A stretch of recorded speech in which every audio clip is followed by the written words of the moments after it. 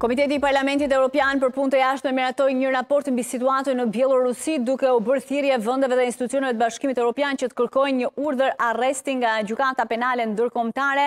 edhe për presidentin bjellorus Aleksandr Lukashenko për përfshirjen e tij në rrëmbimin e fëmijëve nga zona ushtarake në Ukrainë. Komiteti i referohet akuzave të bëra më herët edhe ndaj presidentit rus Vladimir Putin dhe komisioneres ruse për të drejtat e fëmijëve. Bjelorusia është përgjegjëse për dëmet e shkaktuara dhe krimet e kryera në Ukrainë, theksuan eurodeputetët duke përfshirë rolin e regjimit në transferimin e paligjshëm të fëmijëve nga zonat e luftimit. Raporti u bën thirrje institucioneve të Bashkimit Europian dhe vendeve anëtare që të marrin të gjitha hapat e nevojshëm në nivel ndërkombëtar për të mundësuar ndjekjen penale të atyre liderëve politikë dhe ushtarakë përgjegjës për krime kundër njerëzimit. Kujtojmë se presidenti Lukashenko është një nga aleatët më të afërt të Vladimir Putin dhe që e ka mbështetur në luftën në Ukrainë.